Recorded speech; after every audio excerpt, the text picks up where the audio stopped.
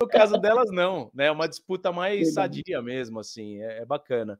Então, o que eu falo para o político guarulhense é acorda, cara.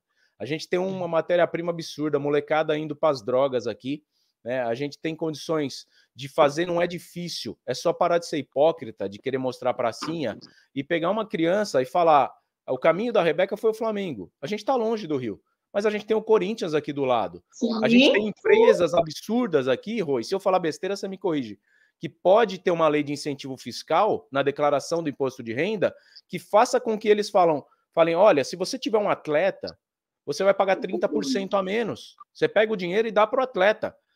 Vai ter empresa correndo, batendo na porta de atleta sim, amador para patrocinar. Cê, porque ó, o que o empresário eu, mais gosta, Rô, é de pagar menos imposto. Então, você, se você, você facilita, você ajuda. É até bom você falar isso, porque eu me lembro, eu não participei, mas eu ouvi rumores de ter, de ter empresários querendo dessa forma ajudar, que não sei o quê, e que não foi aceito.